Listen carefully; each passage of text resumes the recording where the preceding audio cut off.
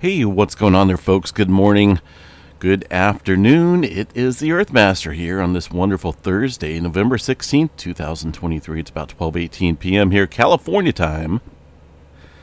And uh, latest activity here on the Earthquake 3D globe looks like a 1.3 into the area of Southern California.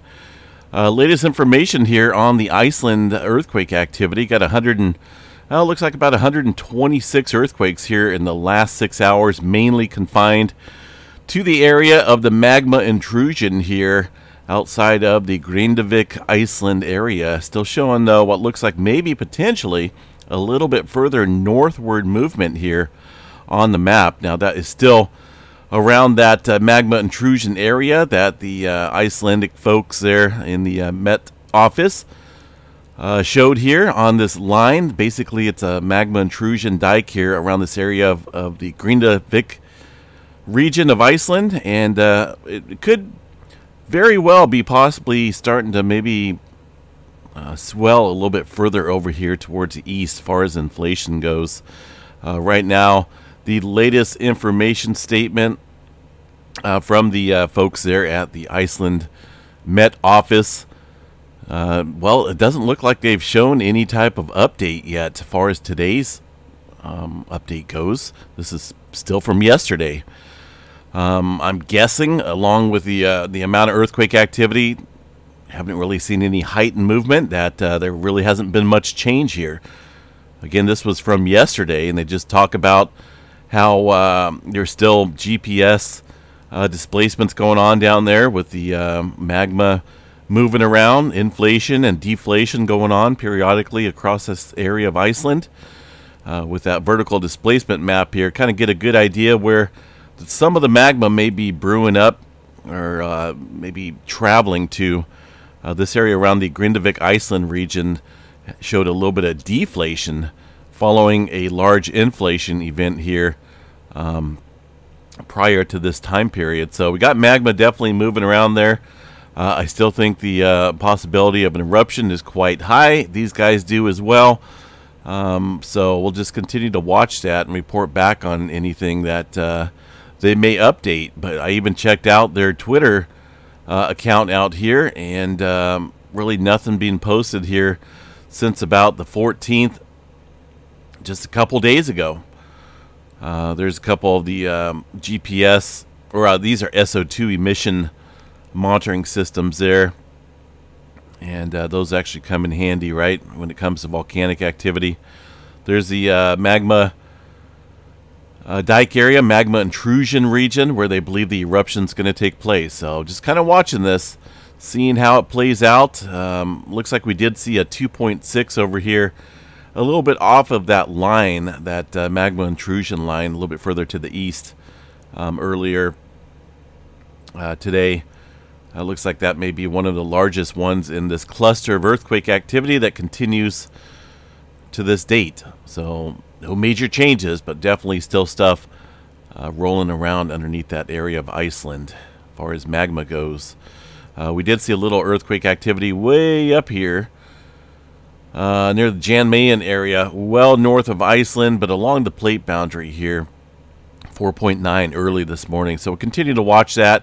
I think we'll see a major increase uh, in earthquake activity when this thing gets uh, ready to ramp back up. The current Iceland uh, seismograph station right there where the hand is still shows what looks like a little choppy activity on the seismograph itself. Those could be very small earthquakes occurring uh, and not quite, you know, flatlining these uh, uh, seismograph readings that, you know, sometimes these larger earthquakes would do. All right go ahead and move on here, see what we got. Anything major brewing up overnight? Uh, largest magnitude looks like a 5.7 from yesterday.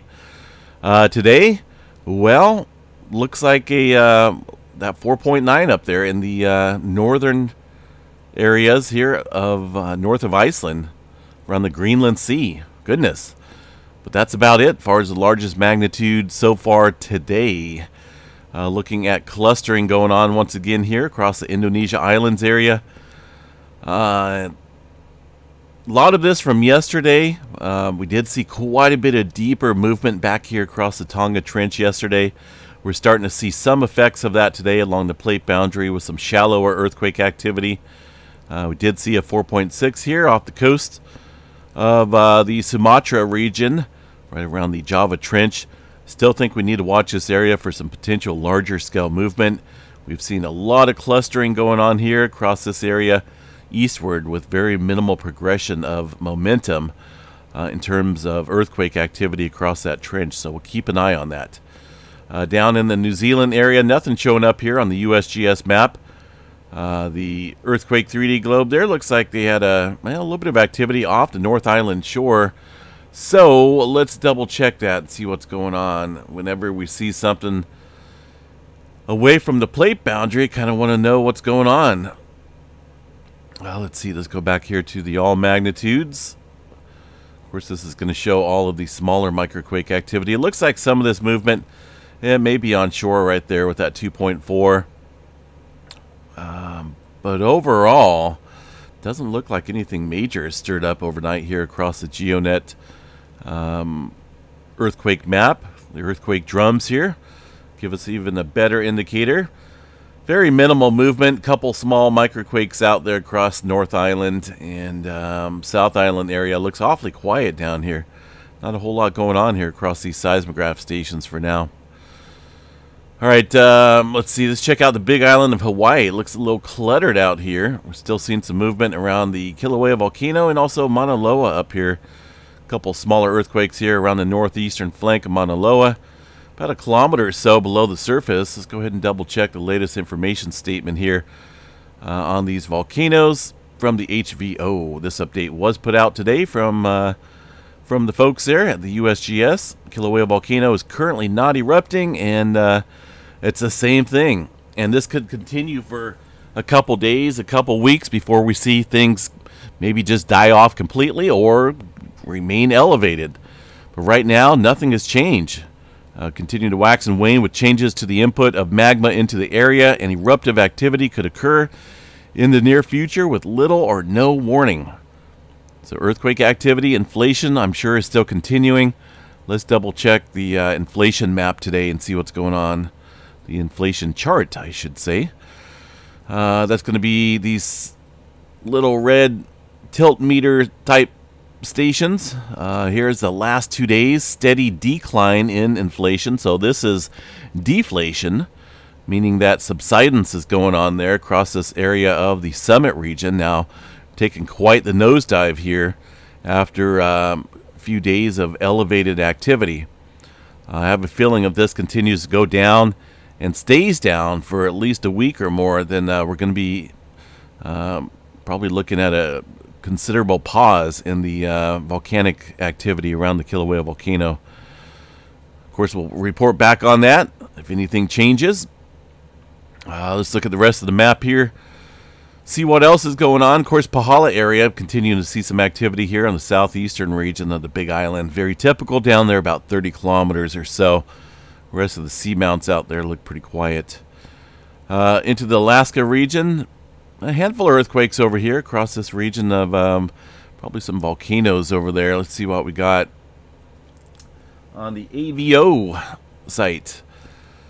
Um, well, there's been a couple daily updates there uh, for those folks. I don't see anything that uh, has changed in terms of uh, volcanic activity up here. Of course, we're watching the Great Sitkin volcano that's been showing a little bit of elevated activity here recently with some smoke plumes, ash cloud forecasts, it looks like. Uh, let's see what they got here for the daily update. Slow eruption of lava continues. That's why it's sitting at orange. I don't know if they're going to expect any uh, explosive eruption, but uh, looks like the eruption of lava continues across this area of the Aleutian Trench. And that's kind of where we're seeing that earthquake activity take place today. Uh, up in the rest of Alaska here, mainly small microquakes across the area. Generally, this is typical across that zone. Uh, up here into the Montana and Idaho and Wyoming area. a little clustering of earthquakes here outside the Butte, Montana region. Nothing big. Looks like a 2.9 a little bit further south here around, uh, is that Lima or Lima? Lima, I think that's Lima. Correct me if I'm wrong.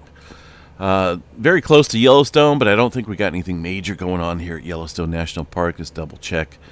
As far as local seismicity goes, I don't see it um, at all. Not a whole lot going on. All right, uh, let's check out the rest of the West Coast here. Uh, overnight, anything above 2.5? Doesn't look like it. Goodness, quite quiet out here in the California region. Just very minimal activity. Getting a pretty good clustering going on here in Nevada, though. Um, very small microquake activity, but some movement nonetheless here around the, looks like it may be off the Rock Valley fault zone here. A couple different fault systems northwest of Las Vegas. Nothing big going on, but uh, a little bit of seismic activity out there in the desert of Nevada. And uh, Texas, well, not a whole lot going on here today. Some generally small microquakes out there around Pecos, Texas.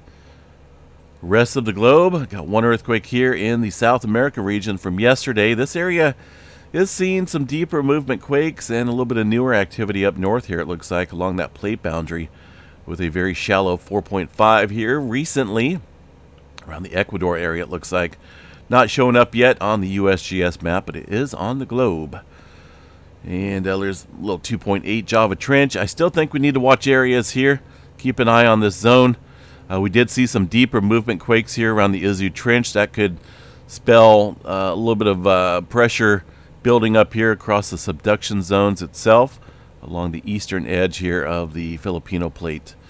Keep an eye on that. And of course, we'll report back on any major changes that may be taking place. Right now, seismograph stations there look pretty quiet. One little earthquake there across the Hot Caves, Hawaii station. That's very close to the Kilauea volcano, just south there of the summit region. Space weather activity right now looks like we got a little bit of flaring coming in from a far side active region. Look at that uh, beautiful feature showing up right here. That is uh, basically way over there. I'm going to save that for a, a, thumbnail. I think that'll work out pretty cool. But it looks like we're getting a little bit of uh, C flare activity coming in right now from that far side sunspot. And I don't know if we got a glimpse of it yet, far as the magnetic structure that it holds. It does look like it's way over there. We may just be seeing just barely uh, a little edge of it right now, but it's still way over there across the eastern limb. We'll get a better look at that in the coming days. Uh, right now, though, we're left with a couple active regions down here that are uh, venturing further out of sight, out of mind here. They'll be gone probably tomorrow. Um, but yeah, we'll definitely uh, keep an eye on this area out on the eastern limb. Center disk and what's facing the Earth is just very minimal conditions, but still these flares that can pop off uh, even above the horizon of the um, the sun here, that can create uh, create these uh, these charged particles in the uh, in the upper levels. Looks like a little bit of a blackout going on here across the southern Pacific Ocean in terms of well, you could have issues with navigation systems, low frequency um, communication systems, and whatnot. Uh, and that's just from a C flare, goodness, and that's way over there. So we'll keep an eye on the uh, potential here of some further active activity here in the solar weather department in the coming days. Hopefully that remains active as it travels, rotates a little bit further into view. Right now, 90% chance of C flare, M flare at 15, X flare around 1% chance. Not a whole lot for auroras currently taking place, though. The uh, three er, three day geomagnetic forecast here looks uh, looks pretty green. Not a whole lot of uh, elevated activity, at least according to this site here. Uh, let's see see what's going on here. Well, this is the El Nino. I did not mean to open that one. Look at those warmer ocean waters. Goodness. Pretty crazy. Now, let's see here. Potentially, we do have... Let me put this into motion here. See if we can get this kicked up. I thought maybe there was some type of CME that did kick off a really small, weak one. Uh, maybe yesterday. Doesn't look like it though. So um, not a whole lot of uptick. Maybe a little slight disturbance here around the Earth area uh, tomorrow, but it doesn't look like anything major set up. Hopefully, we can get that to change, right? I would love to see uh, some very active conditions there on the sun. Makes for some interesting, uh, newsworthy articles.